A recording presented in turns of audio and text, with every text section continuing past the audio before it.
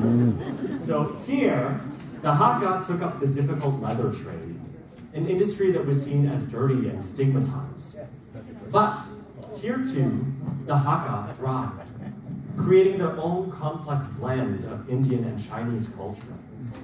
Through it all, the Hakka remained hopeful and persistent about their future prospects. Now, the spirit of the Hakka is reflected in the following Bollywood lyrics. They go something like this Life is a wonderful journey. No one knows the future. Tread joyfully. Pass the days smilingly. Now, here to sing Zindagi Ek Safar Hai Suhana, Life is a Wonderful Journey, please welcome Martin Louis.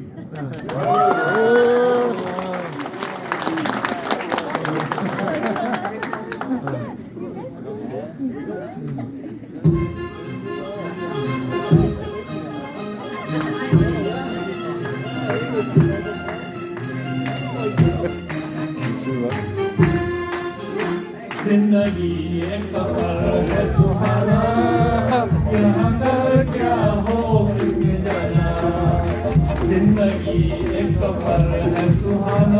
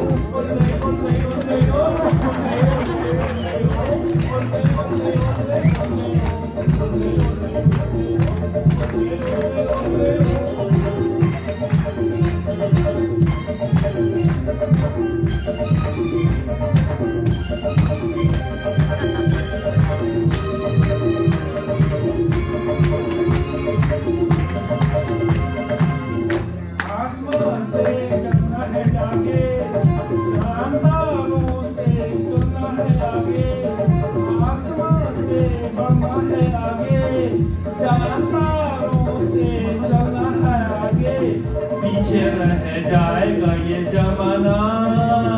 यहाँ कर क्या हो किसने जाना? ज़िंदगी है सुहाना यहाँ कर क्या हो, किसने जाना?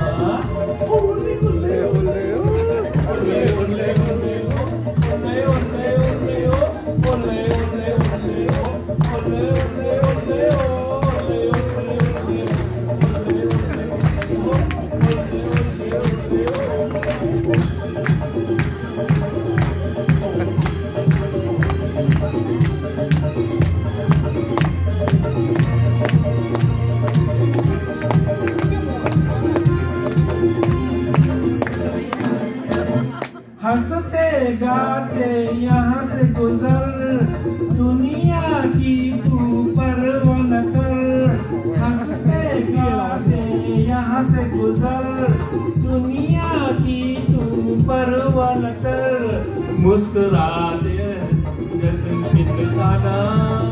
यहाँ कल क्या हो किसने जाना। ज़िंदगी सुहाना। यहाँ कल क्या हो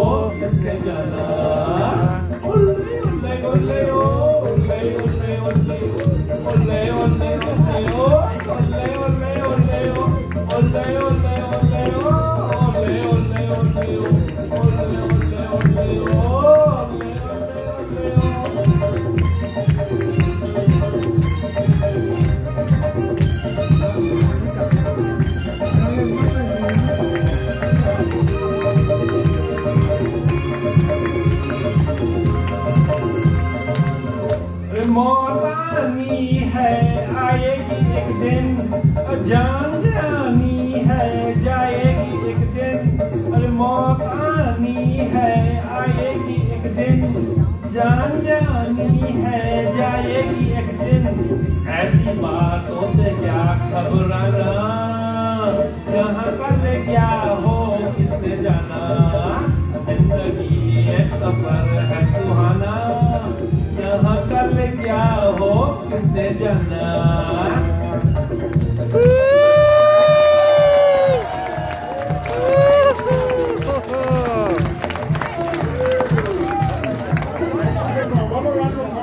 We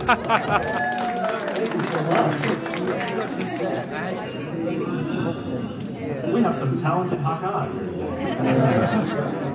Uh, so, next, my friends, we travel from the bustling streets of India to the Hakka communities along the water. In Mauritius, Hakka hail from Moyam, Naishan. Today, Mauritian Hakka represent a large part of the Hakka diaspora in Canada and in Toronto. Now, after the British Empire abolished slavery in the 1830s, indentured laborers from China filled the gap of cheap labor.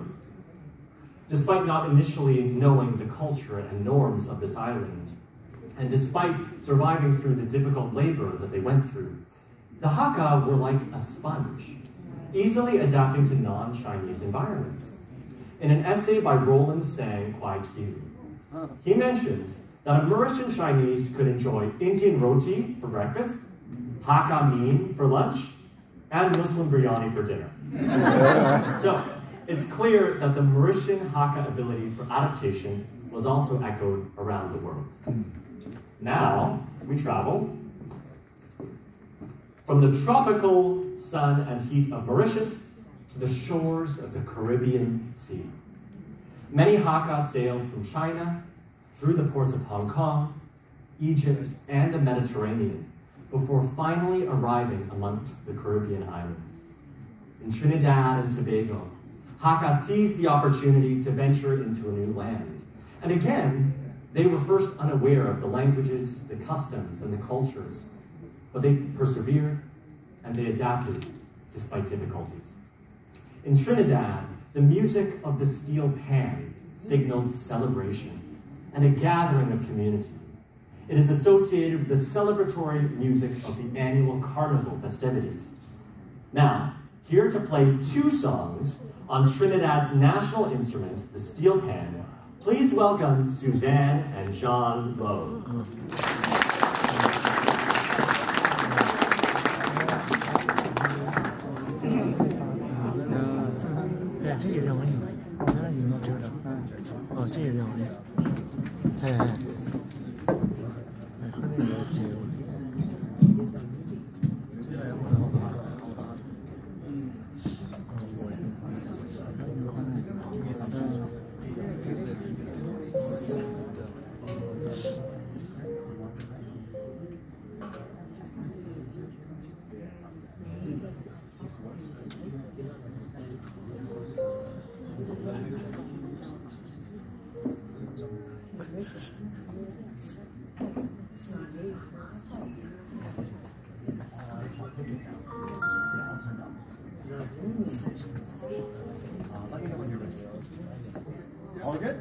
Here we go, everybody.